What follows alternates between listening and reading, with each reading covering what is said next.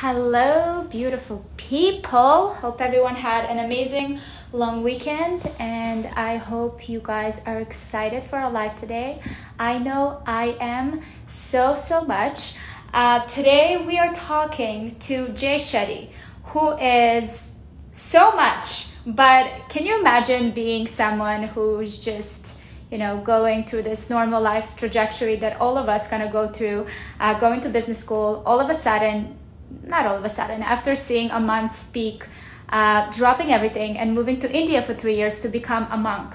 This is who we're talking to today, Jay Shetty. He is a number one New York Times best-selling author, podcaster, love his podcast on purpose, um, and a former monk who is on a mission to make wisdom go viral. Today, we are going to be talking about his book, and um, I have so many questions. I can't wait to get it started. Um, Jay is here. Add him. We're going to just dive into it.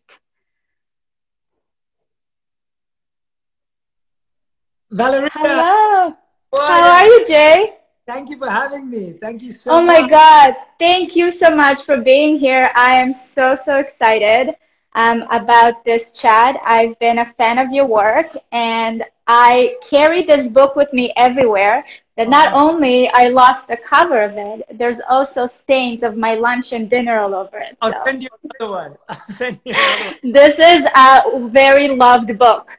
And I'm so thankful that you are able to join me today and talk a little bit about your journey and about this book. So, first of all, how are you today? I'm good, and I'm so grateful to be here with you. And thank you for all the love that you're showing me, my work, and just your kind heart. Just thank you so much. I really appreciate it. Thank you. Thank you, Jay. So, I read the book, and, um, you know, with a lot of these kind of books, I feel like sometimes I get a little stuck because you hear a lot of this amazing advice, but not necessarily a lot of tools that you can implement in a way that's realistic to our today's you know life so first of all i wanted to ask you what do you feel are our most common obstacles for happiness today Okay, great question. So I think that our happiness in life is defined by four decisions. Literally, there are four decisions we make in life, and they define our happiness. This is what they are. The first one is how we feel about ourselves. When we make that decision about how do I feel about my own self, that is one of the biggest decisions we make. The second one is who do I give my love to? Who do I fall in love with? That is a big decision. The third one is how do I make money? What do I do mm-hmm. to make because that's needed. And the fourth is how do I serve the world? How do I make an impact in the world? So these are the four biggest decisions that define our state of happiness because we spend a lot of time with the people we fall in love with. We spend a lot of time at work and we spend a lot of time with ourselves in the first place. And so that is the order in which it also has to come. First, we have to figure out how do we feel about ourselves. Then mm-hmm. we can partner you know, then we can really find the work that is passionate and purposeful to us, and then finally try and serve. So that's where our happiness really begins. Do you feel the obstacle is happening, kind of the disconnect is happening, that they are not in the right order? That's it. Yeah. I think the disconnect happens because most of us don't have the time and the opportunity to get to know ourselves and to check in with ourselves. And that's mm-hmm. why we're now looking for someone to fill the gap or complete us. We're now looking for a job that hopefully makes us feel better about ourselves. We're trying to find something externally that we hope is going to make us feel better internally. And so we mm-hmm. keep search, we keep seeking. So you're absolutely right that it's because we do it in the wrong order. Because actually, when you start with yourself, and that's what it means to think like a monk, thinking like a monk means stripping away all of these opinions, expectations, and obligations, and finding out who you are first, and then creating a life based on that. So I found that during this time, I consider myself to be a pretty aware, self aware person. And it was really funny because during this uncertain times, um, it was uh, very much of a test, not to myself, for everyone, all of us to kind of be like, are you really aware? Are you really present? Do you really know who you are and what you are? And I thought it was I mean, obviously, it's not the best kind of times, but it was also very refreshing to have that, you know, situation to slow down and really question everything I knew about myself and what's around me. So, how do you suggest? Uh, what is your advice on building that? I guess mental toughness that you know if there's going to be and there are a lot of situations that are coming our way um, if we ta- if we encounter them how do we stay stable um, and kind of present and really not letting all the situations keep kind of making us question ourselves yeah great question so everything you just said about being stable being able to withstand knocks and things that are going to come our way all of it requires a firm foundation if you look mm-hmm. at a building, it's going to fall over if it doesn't have a firm foundation. If you look at a tree, if it doesn't have deep roots, it's going to fall over. All of these things are just going to move away. If you look at the sand on a beach, it just gets washed away because it doesn't have a foundation. So, our foundation as humans is our morning routine. It's what do mm. you do for the day that gives you a foundation for the day that gives you a foundation, right? The word day is even in foundation. Like, what is that thing that you start your day with? And also something that acts as a shield and an armor for the rest of the day. So let's say you wake up and you slept well. So, Valeria, you wake up and you slept well. I wake up, I slept well. You start your day at zero. But mm-hmm. now you look at your phone first thing in the morning and your phone starts your day with news, notifications, noise, and negativity. You're now at a minus five at the start of the day. The rest of the day, you're trying to get back up to zero. You're just trying to survive. You're just trying to get through the day. But, and you'll recognize this from the book, let's say when you wake up, you do thankfulness, you choose inspiration, you meditate, you exercise. You're now starting the day at a plus five and even if the day is really tough, you end up at a plus two. So the goal is that if you put on your shield in the morning, even if you have a really tough day, you'll still end the day feeling like you made progress and you moved forward. But if you start the day feeling like you're on the back foot, then you're chasing it. The whole day, you're just chasing it. And so that mental toughness comes from realizing we have to do something every day that makes our mind tough. Just as you have to lift mm-hmm. every day to make your body tough, or you have to run, or you have to do some sort of cardio. What is the cardio for the mind? That's what mm-hmm. it is. It's inspiration, it's meditation, and it's exercise. That's the cardio for the mind.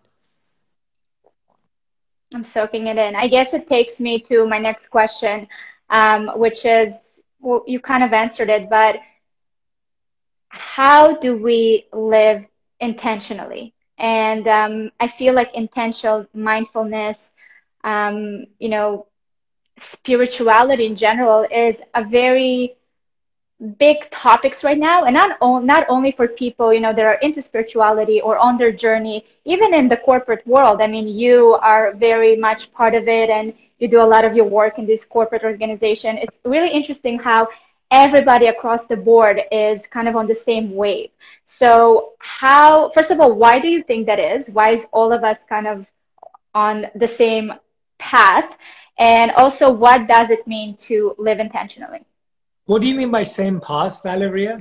I guess the path of like everyone is looking now for, you know, being more mindful. So if before in corporate, any corporate kind of job, no one really talked about, you know, being healthy in your mind or just practicing gratitude, being intentional with your life, right? So, and today I feel like it's everywhere. It's like these buzzwords. And I just yeah. wonder what happened, what, when did that switch happen that now it's, you know, everywhere across the board? So there were two trends that I saw that happened. One of them was that corporate depression, corporate burnout, and corporate mm. stress went through the roof. And at one point, CEOs' decline in their mental state was seen as one of the biggest diseases and killers. Like it was going to be a really bad thing that was on the horizon.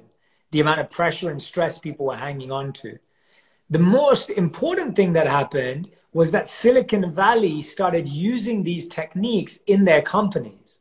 So you saw companies like Google having meditation sessions, Facebook mm. yoga sessions, Microsoft brought it in. And so you saw all these tech companies adopting all of these principles and mindsets because Stanford and Harvard had done all these studies and research on them.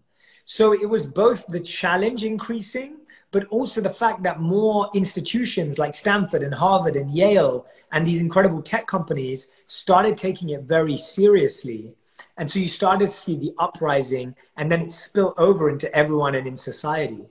And so I remember seeing about seven to 10 years ago, the first articles about meditation were always like, Google's doing meditations, Google's doing this.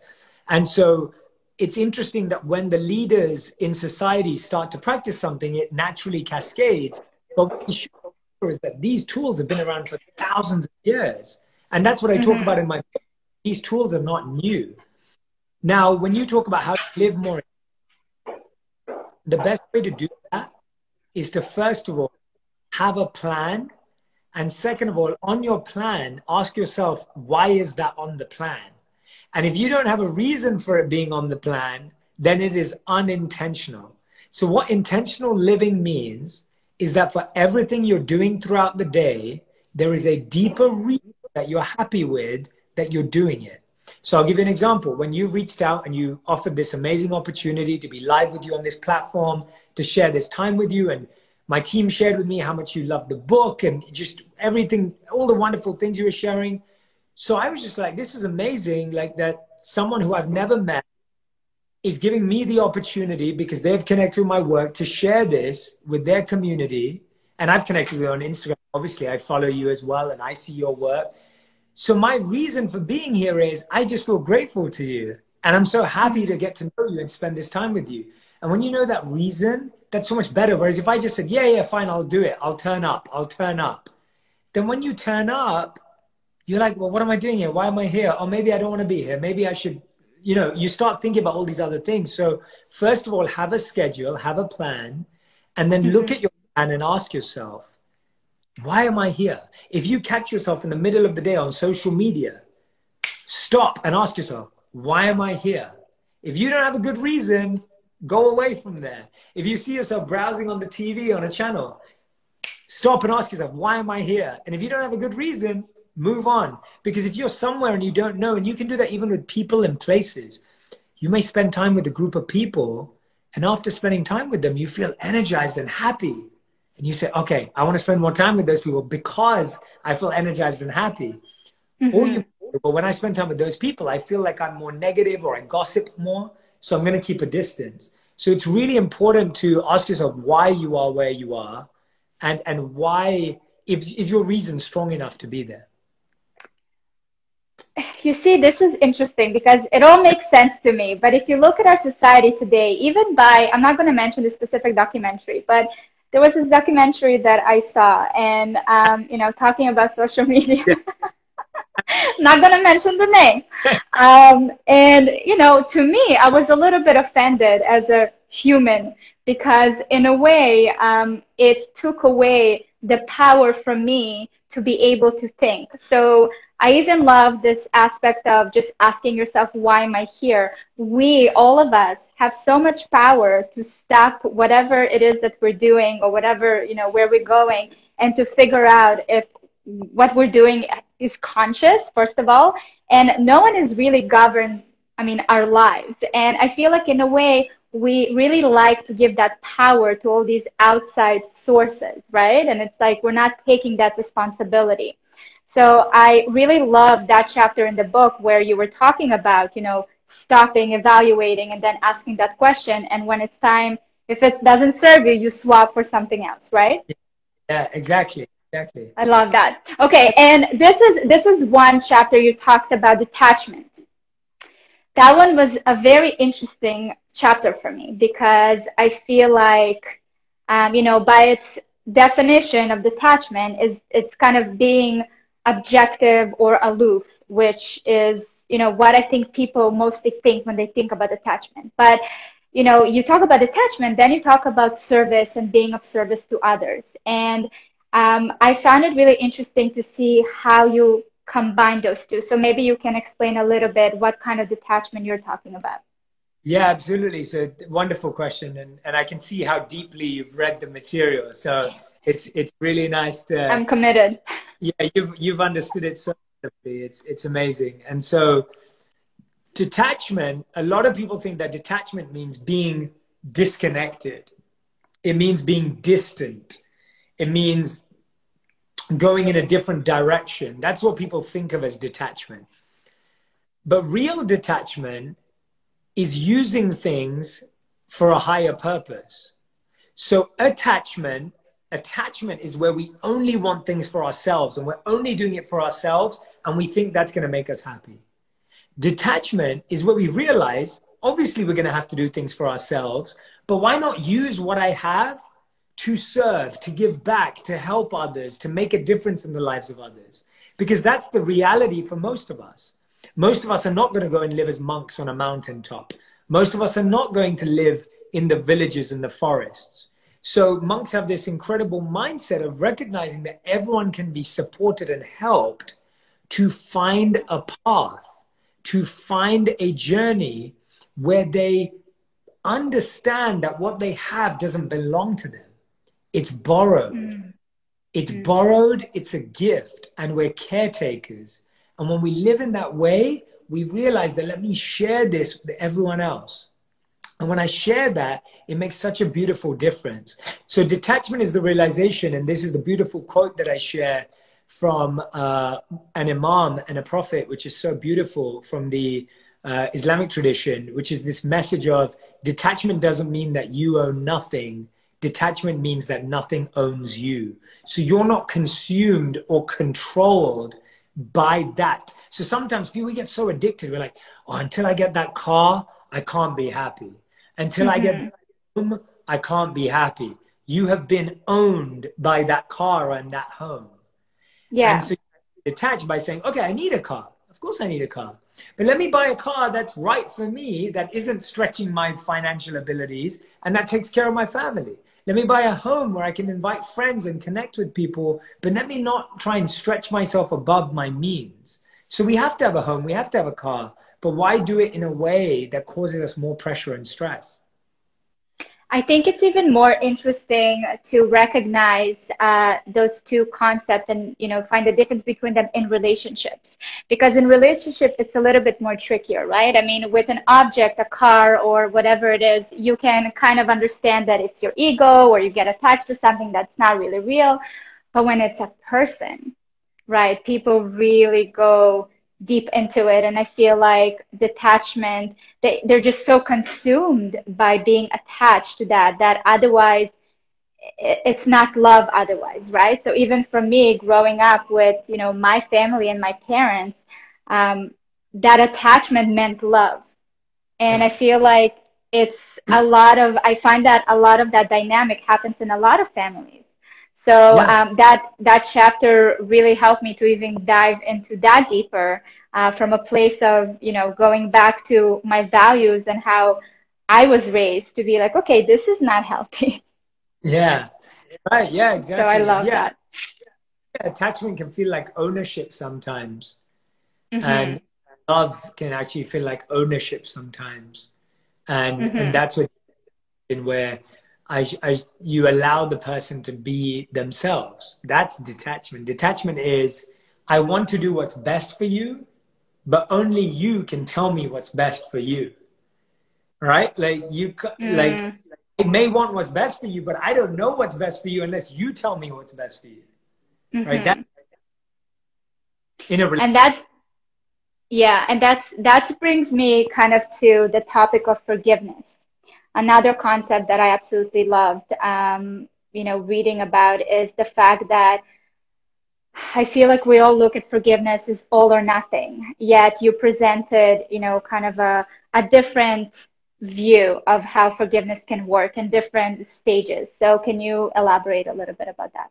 Yeah, absolutely. I want to see if I can actually show the graphics so people can see it because I think that uh, really, really helps people. I'm just bringing it up here. Give me one second. So, with forgiveness being such an important uh, quality because we need to learn to let go, this is a chart that I have in the book. Mm-hmm. So these are the stages of forgiveness. You have zero forgiveness, you have conditional, transformational, and then unconditional. So the problem is that usually we think we either forgive someone or we don't forgive them. We think it has to be black and white, binary. We forgive them or we don't forgive them. That's not true because things are much more gray and in shades of progression. Mm-hmm. So, one of the ways you may say you forgive someone is if they forgive you back. That's conditional forgiveness. The challenge with this type of forgiveness, sorry, if they say sorry, if they say sorry to you, the challenge with that type of forgiveness is someone may never say sorry to you. Especially in today's world, ghosting has become so normal.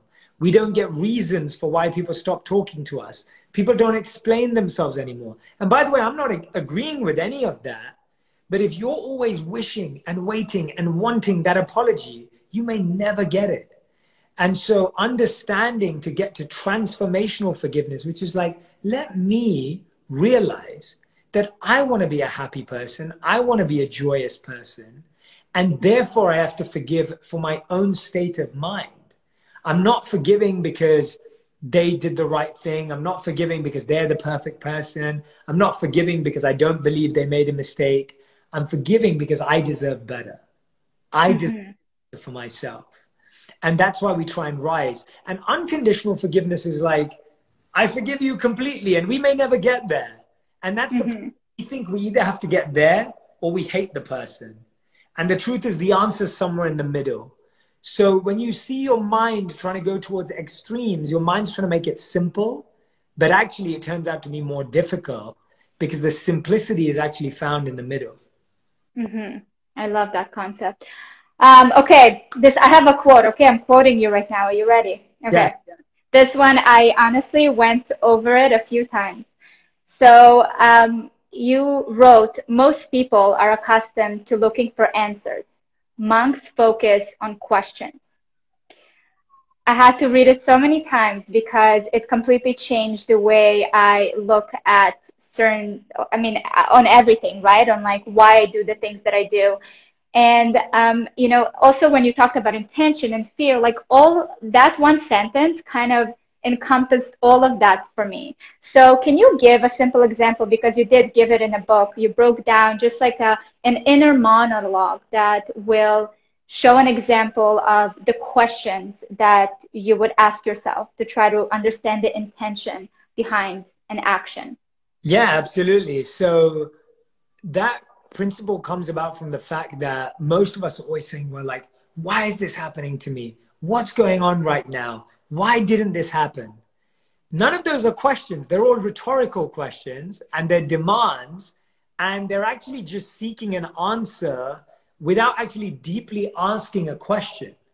Hmm. Where monks believe that if you sincerely, genuinely ask a question, the universe will give it to you. In the same way as Valeria, the way you're asking questions today, you're asking them in a genuine way, in a sincere way, in a wonderful way. And so I feel inspired to answer your questions. But if you were like, Jay, come on, now just tell me, like, why is this? Ha-? If you did that to me, like, I would be so scared. And we do that to we do that to ourselves. Mm-hmm. We talk to ourselves like that, and we demand answers, and we demand answers without discovering what the right question to ask is. So my example that I love that I give, uh, and there's many examples in the book. This is my favorite one where questions are really powerful is when it comes to fear. And I'll give you one that I actually experienced in COVID, which is a similar example. And if you like the one in the book, you can share that, Valeria, too. But this is more of a current example. So when when COVID came in, me and my wife were scared if something happened to our parents because our parents live in London. So we were scared. We were like, what if something happens to them? Now that's a worry, that's a fear, you're trying to figure out what's the answer, what do I do? And actually, I asked myself a question. I said, why am I scared of that? And the answer that my mind gave is you're scared because you love them and you don't want anything to happen to them. So I said, why am I scared of that? And I said, I'm scared of that because I, I want to spend time with them and I won't be able to see them and I won't be able to tell them that I love them. I said, why am I scared of that? And I realized really scared about was that I don't show them enough love, that I don't spend enough time with them, that I don't call them enough, that I don't message them enough. By the way, I can do all of those things. I can call them, I can voice note them, I can send them messages, I can FaceTime them. So that questioning brought me closer to the root of my fear that I can actually do something about rather than just sit there and look for answers like, oh, what do I do? How do I get back to London? Oh, wh- what are they going to do? All of that stuff, which would be useless. Whereas I could just pick up the phone and say, I love you more and connect. Mm-hmm. Does that make sense? Mm-hmm, definitely. Again, brings back the power to us rather than, you know, creating this helplessness that yeah. a lot of us felt during, you know, this time because we didn't ask the questions, right? We just wanted answers. We wanted an action plan right now. So um, I, I, I, love that, um, you know, the way of just viewing and going through life with the questions. Um, I truly appreciated that. And um, okay, purpose. Purpose is a big one. I can tell you, Jay, that I am by no means uh, by no means a spiritual uh, leader of some kind, but I do talk a lot about you know finding your purpose and realizing it. And I'm I'm myself, right? I mean, still trying to figure it out, and it's kind of a, journey. But I loved how you kind of provided a little bit of a formula to finding a purpose, and um, with even you know mentioning uh, your dharma. So can you please talk a little bit about that? Yeah, absolutely. So dharma is a Sanskrit word and has many, many meanings and many different translations. But the one that I loved the most was when it's transferred to purpose. And it really means your inherent purpose, something that's natural to you. And when I looked into it, and to simplify it for this, in the book, I have a full 20 question way of finding your purpose and understanding your strengths. But to simplify it, dharma or purpose equals passion plus strengths plus compassion. What do you love and enjoy? What are you naturally talented at, gifted at, and have an expertise in? And how do you serve the world with it? How do you do something with it that helps other people? So, passion, strengths, and compassion. And when you mm-hmm. find that synergy between the three, that's where you find your purpose. And by the way, all three of these can be entryways to purpose. So your passion.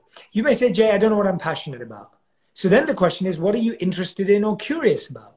What is it that just you get so interested in? You want to read every book, you want to listen to that documentary, you want to watch that podcast. What is it? What are you curious about? You may say, Jay, I figured I can't figure that out. It's not helping. All right, let's try to do it through your strengths. What are you hmm. naturally what are you skilled at? What do you do that when you do it, people say to you, Oh, that was really good. That party you organized was amazing. Or that event you did, that was beautiful. You have an amazing voice. You planned this well. What is it that you're hearing in the feedback? And the third and final way is through compassion. What pain have you been through that you never want someone to go through again? Or if you if they go through it, you want to help them through it.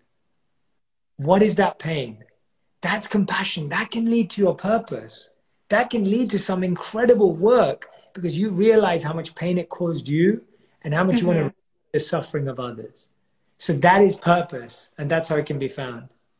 And I think it's so important to mention that, you know, I myself, like I mentioned, I'm still on the journey of finding my purpose and um, slowly as you get older, as you gain experience, as you have a better understanding of who you are, you understand your strengths and you know what you want to serve the world with and all these other things. So I just think that it's so important to mention that it's a journey to get there. I think that so many of us as, you know, the younger generation, they feel that pressure of just yes. knowing their purpose and just getting yeah. it.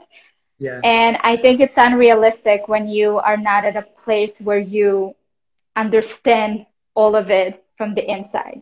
So, well thank said. you. I, I love that. Uh, um, I love that you broke it down to these three things because I think that you know you can start with any of them. So I think that's important to um, the audience that watches this. And then I had such a good time speaking to you. Honestly, it was amazing. Um, I have one last question because. Yeah. I feel I don't know if it, I think it's going to be a tough one, but if we had to take one thing away from think like a monk, what would it be? That is a very good question.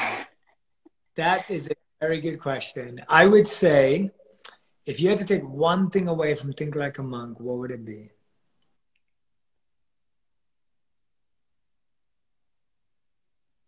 I would say that it would be the monk method, which is right at the end. And it is the meditation practice with breath work, visualization, and mantra. And if you practice that, then you will be able to create your own well being path. And I think that if we reclaim our well being, if we take the responsibility for how we can take care of our minds and bodies, then that would be incredible in the world right now. And so I really hope, I know that people are struggling with anxiety right now. I know that people are worrying right now and negativity right now. I think the monk method in the book can give people a really good pathway. Beautiful. Jay, thank you so, so much for your time. I truly appreciate it. I'm so glad we did this, Valeria. Thank you so much. Definitely. Thank you. You're in New York? I'm in Toronto, but hopefully once all of this is over, we could do this in person. Absolutely. I look forward to that when I come to Toronto. I look forward to meeting you. But thank you for this. Beautiful. Thank you Thank so you so much, Jay. Have an amazing day. Bye.